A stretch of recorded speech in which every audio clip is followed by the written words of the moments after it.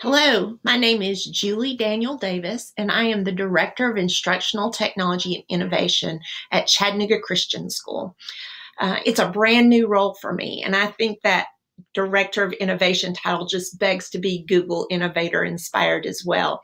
My goal actually is to take these pockets of excellent um, integration that we're doing here at us at our school and cause it to become systematic change um, here at our school. So I'm seeing some really good stuff going on, but then we've got some pockets that are not um, moving forward using technology innovatively, um, not just as a tool, but how can it truly transform the learning process of our students? How can it truly transform um, the learning process for our teachers even. So that's my goal.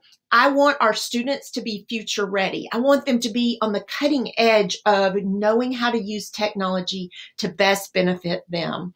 I want us to be truly innovators.